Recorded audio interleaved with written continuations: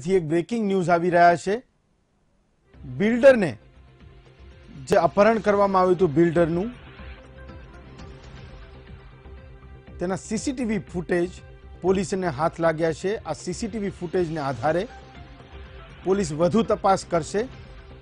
જોકે આ કેસમાં પોલીસ અગાઉ બે આરોપીઓને પકડી ચૂકી છે. અપહરણ કરતા બે પકડાઈ ચૂક્યા છે અને બિલ્ડરને મુક્ત કરાવવામાં આવ્યા હતા.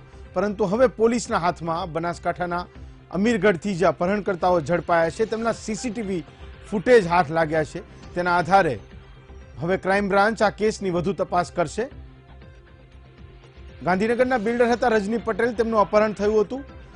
બે બાઇક ચાલકોએ બિલ્ડરને કારમાં લઈ જઈને તેમનું અપહરણ કર્યું હતું. છેવટે પોલીસે તેમને છોડાવ્યા હતા. મયુર મયુર, આ સીસીટીવી જે હાથ લાગ્યા છે ઓલરેડી પોલીસ બે લોકોને પકડી ચૂકી છે. વધુ શું માહિતી છે?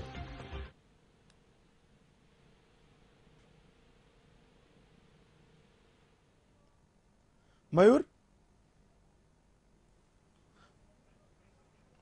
મયુર, સીસીટીવી ફૂટેજ પોલીસને હાથ લાગ્યા છે. પોલીસ ઓલરેડી બે લોકોને પકડી ચૂકી છે. વધુ શું છે માહિતી?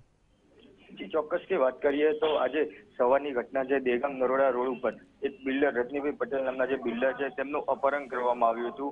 પાંચ શખ્સો જે ચાર શખ્સો જે આવ્યા હતા બાઇક ઉપર અને રજનીભાઈની જે ગાડી હતી તે જ ગાડીમાં તેમને અપહરણ કરી અને જે. રાજસ્થાન બાજુ લઈ જવામાં આવ્યા હતા.